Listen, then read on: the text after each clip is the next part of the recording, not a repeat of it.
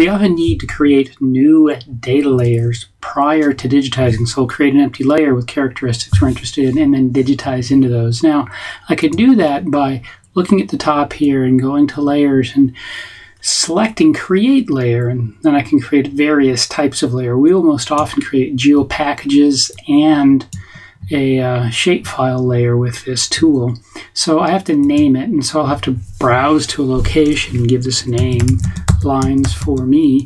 Um, and I have to tell it the geometry type. Well, this is going to be a line type. I can select polygon or point most often or other types. I can also select the project coordinate system either from a drop down list of the ones I've recently used or the full shebang. I can go pick one here. I'll stick with this UTM coordinate system.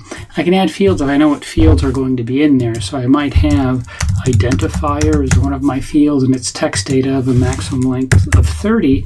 Then I can add it then to my list or uh, size, maybe that's a whole number, integer of a maximum length of 25. I usually I don't use lengths there and add to the field.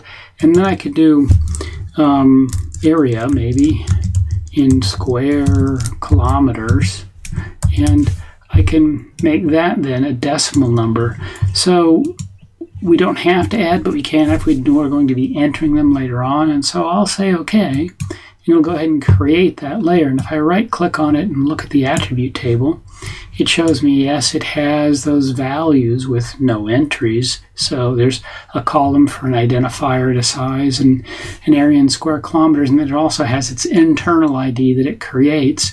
And I can look down at the properties below and see that, yes, it did assign the coordinate system I asked. So I'll create point line and polygon layers, empty containers into which then I will digitize new data.